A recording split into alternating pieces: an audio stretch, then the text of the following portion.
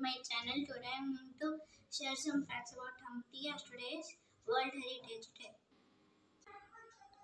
There are 56 musical pillars in Hampi temple that create melodic sounds when tapped delicately.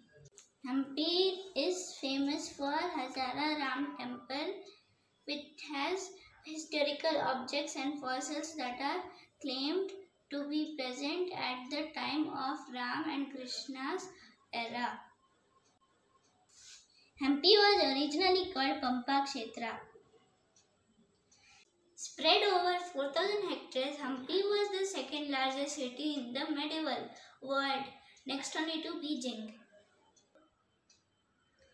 The first historical record of settlement in Hampi dates back to 1st century AD.